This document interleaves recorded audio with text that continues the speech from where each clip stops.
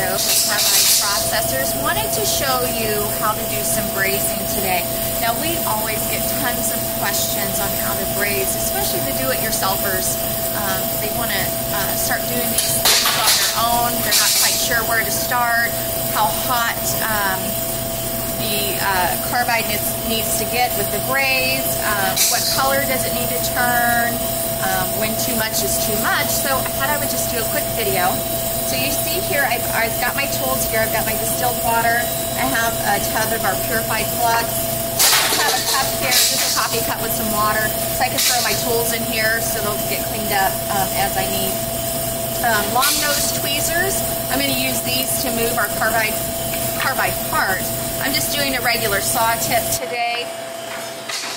So you can think of this also as uh, like our thumbnails or stump grinding teeth that are already pre-tin that we sell.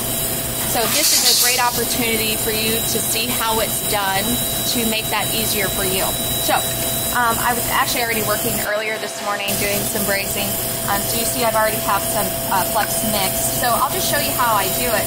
Um, want to take, I'm just doing the one piece. I don't need a lot of flux. I'll just show you how we get to that consistency. I just put it here on my palette.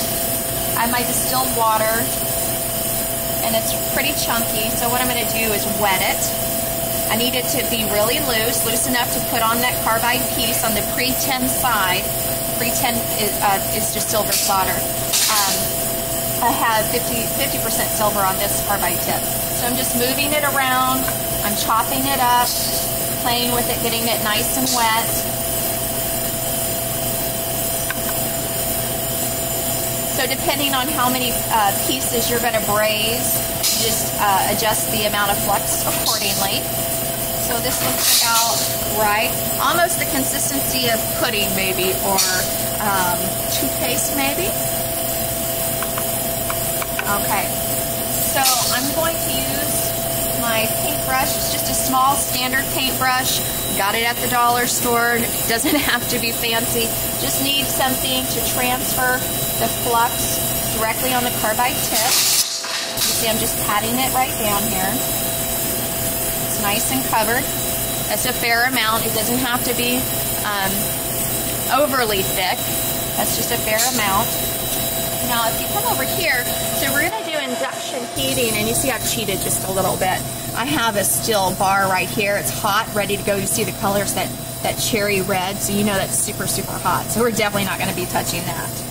So I'm going to move it out here. I'm going to take this sawtooth, this pre-tin sawtooth, pre-tin side down, adjust it where I want it. I'm going to put it right underneath. Now you're going to see that flux bubbling and popping out. It's going to take just a moment.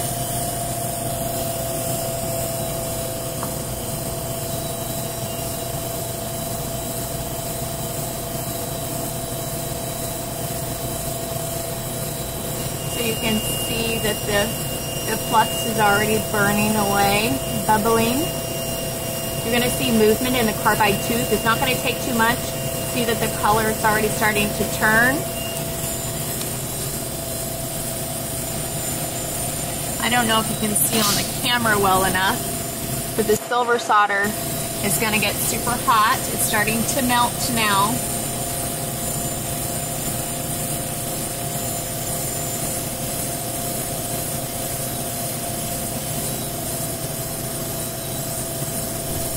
Okay, you can see I moved it a little bit so you can see that it's already starting to melt. I'm going to take my piece out. This is a great opportunity while it's hot. See, I'm moving it so you can see the silver solder.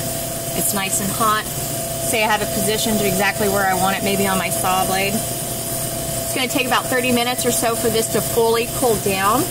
But if I wanted to try to move it now, you can see it's already adhered, so it's nice and brazed. So the longer it sits, the harder um, it will get. And that is how you braze.